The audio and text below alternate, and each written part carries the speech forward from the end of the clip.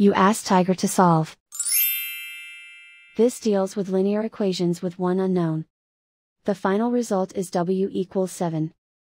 Let's solve it step by step. Simplify the expression. Expand the parentheses. Simplify the arithmetic.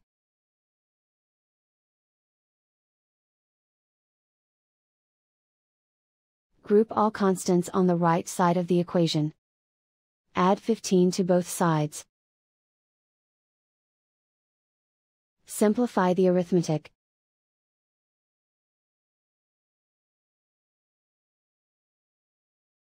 Isolate the w.